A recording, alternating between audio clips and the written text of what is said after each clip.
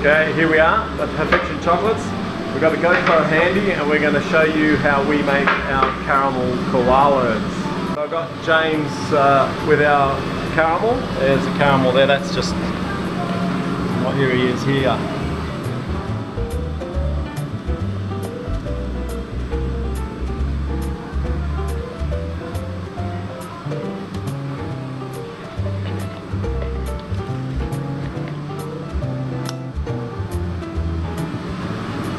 And then what we do is we tap it and off it goes to the fridge.